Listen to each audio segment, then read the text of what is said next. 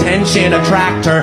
When he grows up to be a comic or actor he'll be rewarded for never maturing for never understanding or learning that every day can't be about him. There's other people you selfish asshole. Must be psychotic. I must be demented to think that I'm worthy of all this attention.